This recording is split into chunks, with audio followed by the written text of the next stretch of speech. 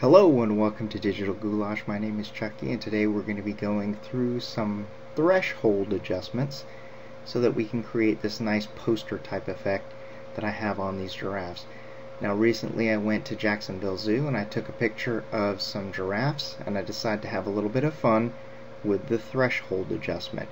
Now I am using Photoshop Elements 7. You can also do this in Photoshop CS4 and CS3. So let's go ahead and take a look at what my original picture looked like. I'm going to go to the edit and then revert my photo back to the original photo. You can see this is what I started with.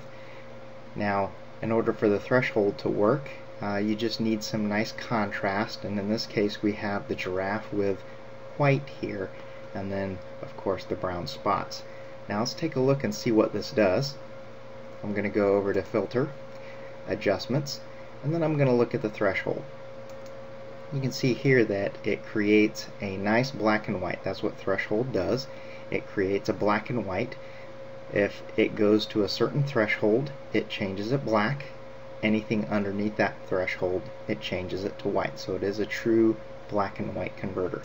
If I swing the threshold number down, more things are going to be created white and less things are going to be created black. So you can see that. Now the only thing I'm not really happy with is this area right here. We don't have a whole lot of detail where the eye is. We kind of lose that in this threshold. So I'm going to hit cancel because what we're going to do is we are going to take two of the images and blend them together. So now I need to create a layer out of this. You can do that by double clicking on this and then it's going to create a layer out of our locked background. I click OK and you can see that it transformed into a layer and there's no longer a lock.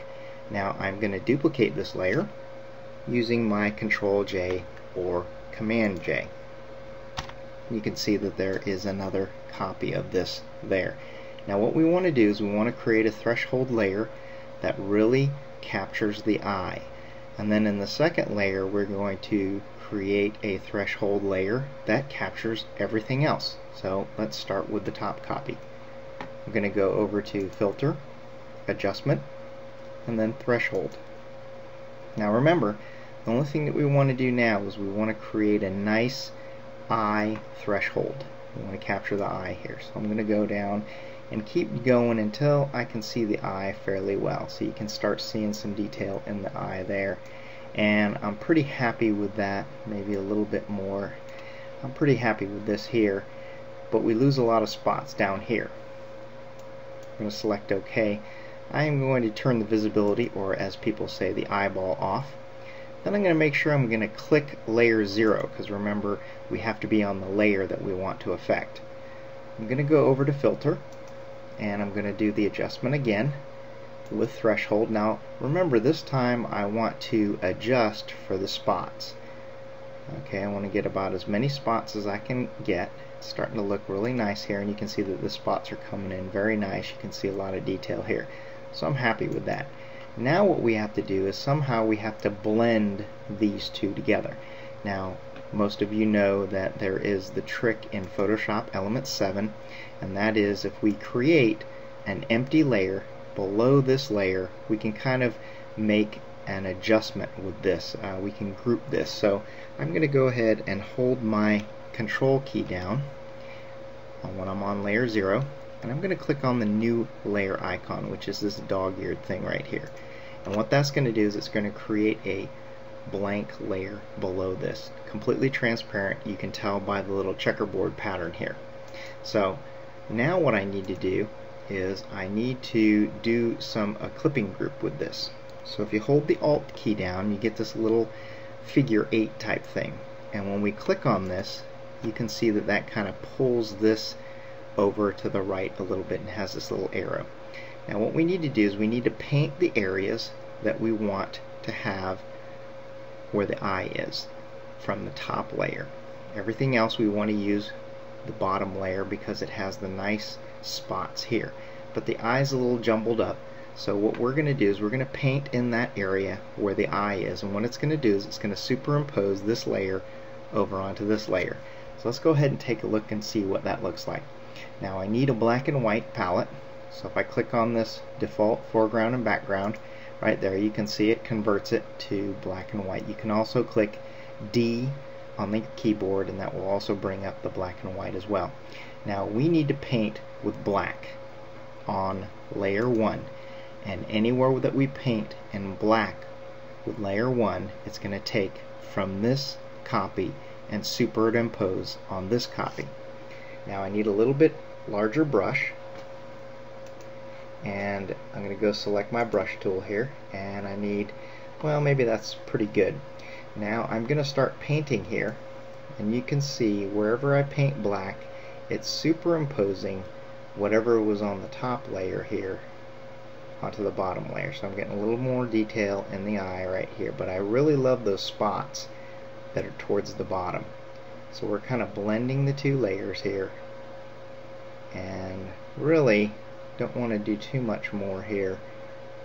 Just kind of make that look nice and artsy here and do that maybe a little bit more near the mouth and nose here so we can see a little bit more like there okay so now we've successfully blended this top layer and the bottom layer now what we need to do is we need to get rid of some of this stuff so I need to go this is the layer that's visible. Remember, this is just superimposing just a small piece of this.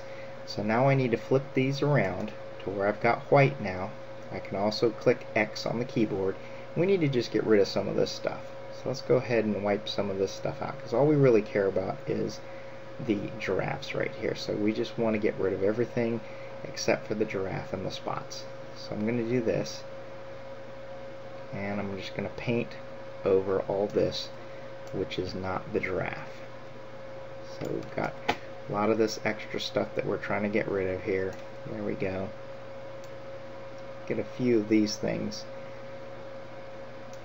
that may have actually been part of the giraffe, but I'm going to go ahead and paint that out just for the sake of this tutorial. So let's go ahead and clear all this and there is a second giraffe there. You don't really see it that much, but there is a second giraffe there, so we want to make sure that we keep that second giraffe. And I'm painting all this out, kind of painting around where his nose is, and maybe a little bit more right there. Okay, so now we have this particular picture. Now what we would like to do is we would like to create another layer below this one. Now do you remember how we do that?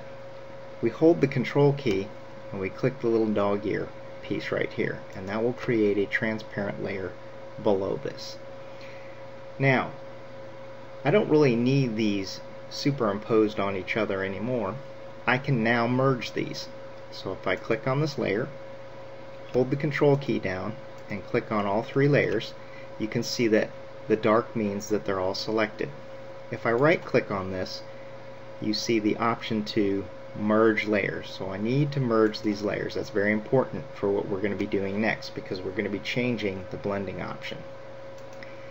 Now if you remember my picture had a gradient, a nice smooth gradient. So I'm going to change my colors. I'm just going to pick two very similar colors and I want to give it that yellow look.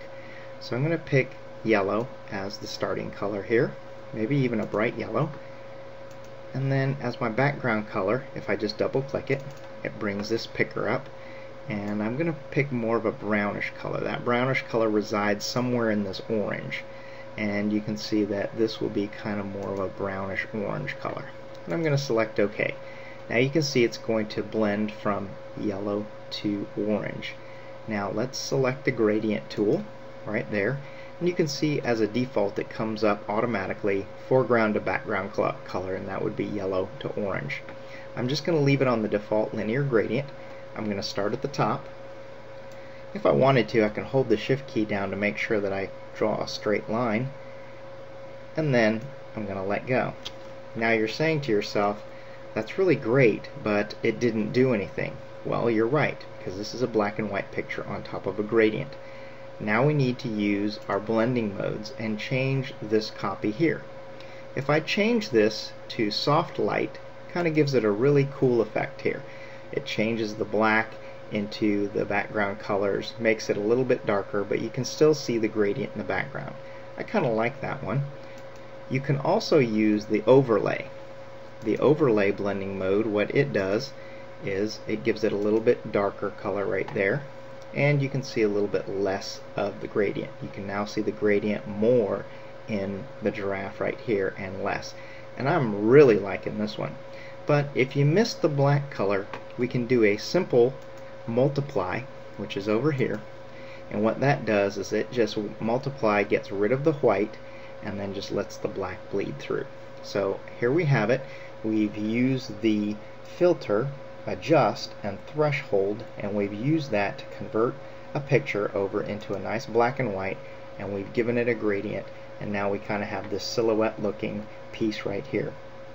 If you like my videos or even if you don't like my videos you can go ahead and subscribe, please comment and come back and visit for some more Photoshop Elements tutorials. Thanks and have a great day.